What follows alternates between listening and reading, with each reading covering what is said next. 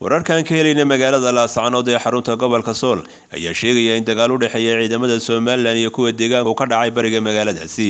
Goobjoogayaal ayaa b b c da u sheegay in dagaalka oo saacada socday ay barbar socdeen duqeymo madaafiica oo ku soo dhacayay gudaha magaalada laascanood khasaare iskugu jira dhimasho iyo dhaawac ayaa la soo tabiyey inuu ka dhashay dagaalka. Inkastoo aan lahayn tiro rasmi ah waxaa ila wareeda noo sheegeen in madaafiicda ku soo dhacday gudaha magaalada. Ay waxyeeleeyeen gaadiid yaallay xarunta dowladda hoose ee magaalada laascanood ayna sidoo kale ay duumiyeen qaybo ka mid a xafiisyada dowladda hoose. Maayarka degmada laascanood cabdiraxiin cali ismaaciil oo ka hadlay dagaalka saaka ka dhacay laaska ayaa sheegay inay duqaynta loo geystay magaaladu ay caddayn u tahay. Cadaawadda somalilan u qabto shacabka reer laascanood sida uu ku sheegay qoraalkan hoose oo u baahiyey duqaynta ciidamada somalilan maanta ay u geysteen xarunta degmada laascanood waxay caddayn u tahay cadaawadda somalilan u qabto shacabka reer laascanood insha allah waynu guulaysan. Dadkaynaga dhintana way dhalan gurigaynaga dumayna waynu dhisan.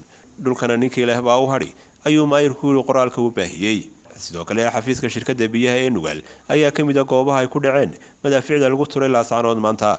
Khasaaraha guud ee ka dhashay dagaalka ayaan weli la ogeyn iyadoo la sheegaya in weli madaafiicda iyo rasaasta laga maqlaya laascanood weli labada dhinac ee dagaalku dhex maray midna kama hadal. Khasaaraha dagaalka maanta dhacay. Dagaalkan saaka ayaa ku soo beegmayay xilli waaxda arrimaha dibadda ee maraykanku ay ku boorisay dhinacyada ku dagaalamaya magaalada laascanood inay dejiyaan xiisada ixtiraamaana xabadujinta. Aanay ogolaadeen in gargaarka bini'aadama la gaadhsiiyo dadkii halkaasi ku barakacay.